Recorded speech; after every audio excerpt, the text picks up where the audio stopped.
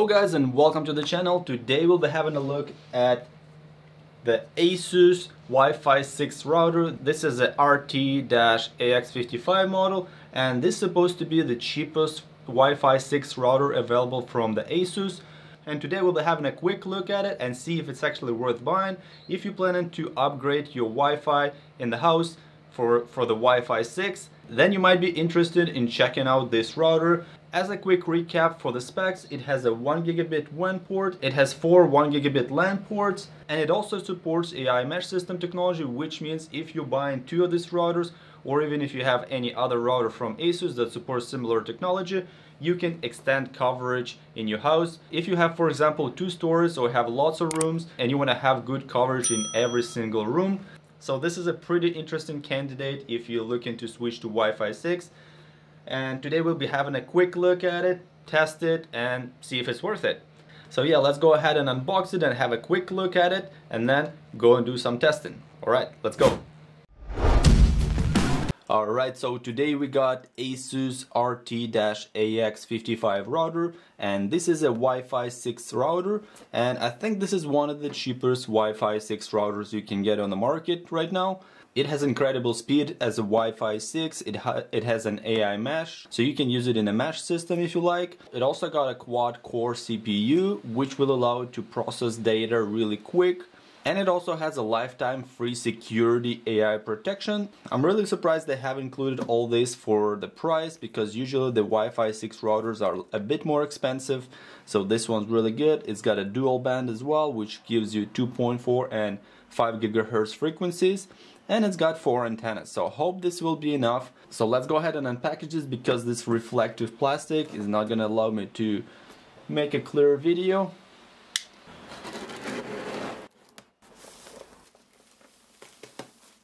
While I think this is better it's gonna be much easier right now to actually shoot the box because it's not gonna reflect as much so as you can see on the top it says Asus then on the back it tells you all the basic details about this router. As you can see, it shows that it's supposed to be faster up to one and a half times compared to the 802.11ac standard, which is good if your computer or laptop or smartphone has a Wi-Fi standard of 802.11ax.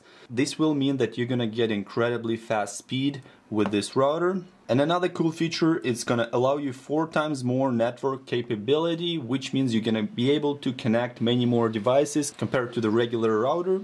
And it also works in a mesh system. And having this AI Wi-Fi mesh system you can actually take two different routers that support this AI mesh system and they're gonna connect to each other and they're gonna be working in a mesh system which means you can extend the coverage of the signal. For example if you're gonna be using it in a large house or if you just need to take it outdoors and have Wi-Fi in your yard this will be great because you don't need to have two exact same routers for this to work, you can just get this router and any other router that has AI mesh system capability. And of course, this is going to be the Asus router, but it could be a different model.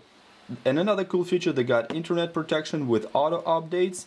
So yeah, and uh, yeah, and on this side, it tells you that it got a one gigabit WAN port. It's got four gigabit LAN ports. It's got four antennas, non-detachable. It's got 128 megabyte flash memory and 258 megabyte RAM. Its operating frequency is 2.4 gigahertz and 5 gigahertz, so it's a dual band.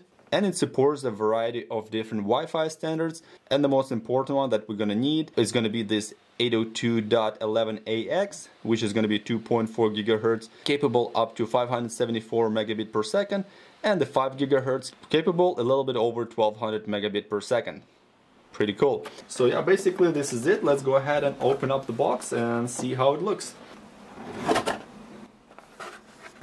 It's got a whole bunch of different literature here, so you got your app setup instructions here. You can download the Asus router app on your phone so you can control the router from your phone. And it also shows you how to easily set up the router. Then you download the app and then you can set it all up. Another whole bunch of literature you got. You got a VIP member warranty notice and this is the same thing in Spanish. This is the same thing in Russian and you got a safety notice so yeah this is a whole bunch of different literature documentation that you can look through and right here it shows you how you can check for the driver and software updates for your router which is good you know sometimes you need to update the router to get the latest feature that they might have just enabled through the software update so yeah just this simple card alright this is our router let's go ahead and pull it out so yeah, this router definitely larger than the one that I have reviewed before. The one that I have reviewed before was the TP-Link C64. If you want to check out the video, you can check it by the link in the upper right corner and I'm gonna leave one in the description as well. But anyway, this is a Wi-Fi 6, so this is a better router. It is also more expensive than the TP-Link one. There are other TP-Link routers that also have Wi-Fi 6, but I find that this is going to be actually the better deal than the TP-Link. That's why I decided to go with the Asus one. So this is your standard RJ45 Ethernet cable and I'm sure it's going to be capable of 1 gigabit per second. Then of course this is your router and it feels just a little bit heavier than the TP-Link that I had before. And I really like the design of it too, like you got this two red stripes in the middle. Looks kind of sporty it almost looks like a sports car. It's got a pretty glossy finish on the top. So if you touch it it's probably gonna get some fingerprints on it. Yeah like you see here it says Wi-Fi 6 here. So it is indeed Wi-Fi 6 you got a whole bunch of antennas here actually you got four antennas they're all non-detachable so you're not gonna be able to detach them so if you plan to transport it anywhere, you might need to be thinking about taking this box with you because you don't want to really break the antennas, otherwise the router is going to become useless, right? So let me show you how it looks up the front. So it's got a lot of air vents in the front, it's got air vents on the bottom, and it also has two mounting points that you can hang the router on the wall if you like to, to save some space. And unfortunately on the sides there are no vents, but they have the same texture as if there would be some vents. I think they have just decided that this processor doesn't need any more airflow. You also have a few LED lights at the front here. You got the 5G LED light at the front, you got the 2.4G LED light, you got the LAN light, you got the internet light, and you got the power light LED light. And on the back here we get in the WAN port, we get in four LAN ports, we got our power inlet, then you have your power button, you have the reset hole, and you have the WPS reset as well. So pretty standard router, all the cool features are actually inside that you can set it up. And like I said the reason why I decided to go with this router mainly because it has Wi-Fi 6 alright let's see what else is in the box here.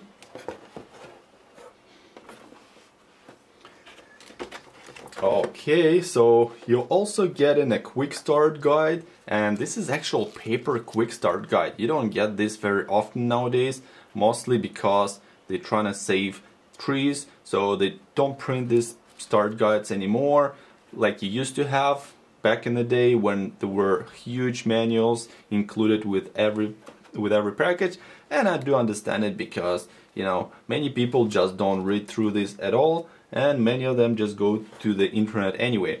But if you don't have internet access before you install the router, this is what you're gonna need. And you also get in the power cable as well. Just regular power supply, connector. So yeah, this is it. Alright, let's go ahead and connect it, try it out, see how it works. And I'm really excited to see if it's gonna be faster than my other TP-Link router. Let's go ahead and connect it to the computer, set it up and test it. Okay, let's get started. I'm gonna do two different tests. One's gonna be over the ethernet cable and another one's gonna be over the Wi-Fi so we can see the difference between two different types of connection. And as always, I'm gonna run three tests with each connection type to make sure we get in the most accurate results. I'm gonna show you three different runs. I'm gonna just speed it up so you don't have to wait for very long and then I'm just going to put it in the table so you can see the difference and you can see the average speed that we get in over Wi-Fi as well as over LAN connection. I'm going to be using the speedtest.net website so you can also go to this website and check out your actual speed that you have right now and then compare it to the speed that I'm getting. Okay, so let's check out the results from the wired connection. As you can see, all the tests are pretty close to each other. The discrepancies are around 10 to 15 megabit per second, which is really close. And the average speed we're getting for the download is 874 megabit per second. And the upload speed is 561 megabit per second. So it is getting close to 1 gigabit per second for the download, but keep in mind that you will not be able to get 1 gigabit even if you have the 1 gigabit connection because there's also some traffic used for the service operations. It always a little bit less. So you get an almost 900 megabit per second solid. And as you can see over the wired connection, the discrepancies are really not that much. They're almost looking exactly the same. And the same situation is on the upload side as well. As you can see, the discrepancies are really minimum. That's why I do recommend keeping the wired connection if you're using your laptop or PC in the same spot and you don't move around. You can just route an ethernet cable and have a solid connection. Okay, let's have a look at the Wi-Fi results. As you can see, we're still getting pretty good results over the Wi-Fi. We're getting over 500 megabit per second and on average, after three runs, I'm getting almost 550 megabit per second average for the download and for the upload I'm getting 323 megabit per second. But take a note that the discrepancies are much higher over the Wi-Fi than on the LAN connection because Wi-Fi is not that stable connection and there could be some issues like your signal could be jammed or if there are other devices using the same router then you might be getting different results and you can clearly see that on the upload on the second run. As you can see the discrepancy between the first and the third run is like 80 megabit per second. So yeah this is what you're getting with the Wi-Fi but still the results are pretty good. And let's go ahead and compare it to my other router that I was testing before the TP-Link Archer C64 and see if it's actually worth buying and worth paying more for this Asus RT AX55 router all right, let's check it out. So as we can see from the results, over the Ethernet connection, we are getting almost identical results from Asus RT AX55 Wi-Fi 6 router and the regular TP-Link C64 Wi-Fi 5 router. So if you're planning to use it over the wired connection, there's going to be very minimal differences. As you can see, we get an 874 versus 854 Asus versus TP-Link and 561 versus 503. So it is very close results. So there is no need to pay extra for the Wi-Fi 6. But if you plan it to use it over the Wi-Fi, there is going to be plenty of advantages.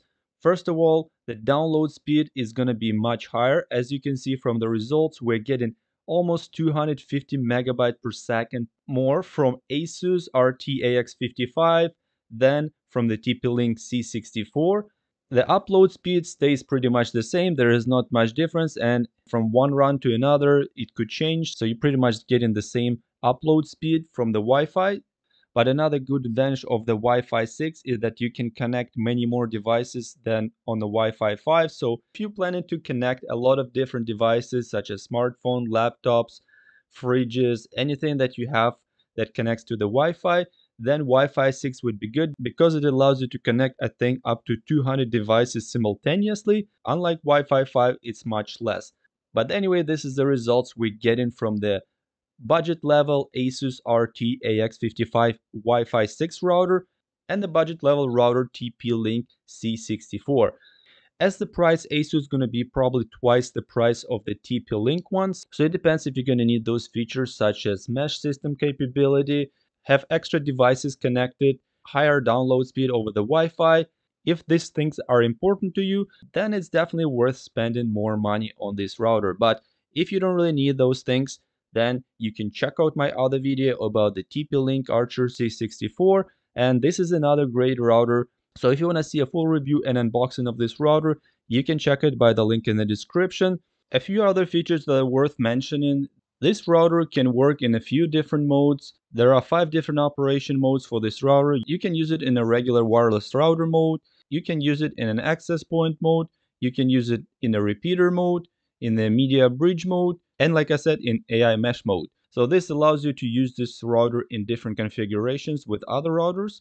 And another cool feature, you can enable dual WAN which means you can use one out of four LAN ports as another WAN port if you have two internet providers and you want to connect them to the same router. As you can see, you can use a primary WAN port and then you can choose one of four different LAN ports as a secondary WAN port. And there are two different modes that you can choose it to work in.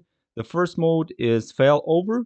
The failover mode means that if internet from one service provider disappears or there is no internet access, it's going to start running from the second one which means you're not to lose internet at all. Or the second mode is called the load balance, which like it says optimizes resources and maximizes throughput. This is another cool feature that you might be interested in just in case you have two service providers and you want to have like a fail-free internet.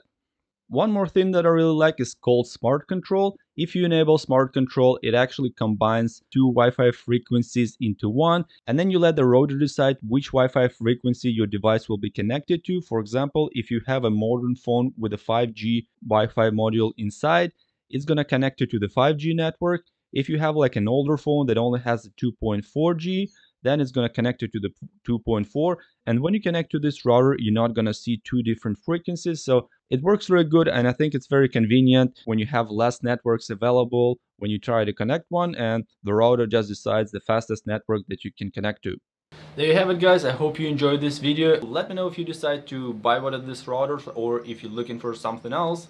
I think it's a pretty good deal for the price. It's a Wi-Fi 6 router with mesh technology. As you've seen on the test results, it runs really fast. So you're getting almost 1 gigabit per second download speed, which is really good. So yeah, this is it. I hope you enjoyed this video. If you like this kind of video, please give it a thumbs up. Subscribe to the channels so you don't miss other cool videos. And if you have questions, drop them down in the comment section below. And I will see you soon. Bye-bye.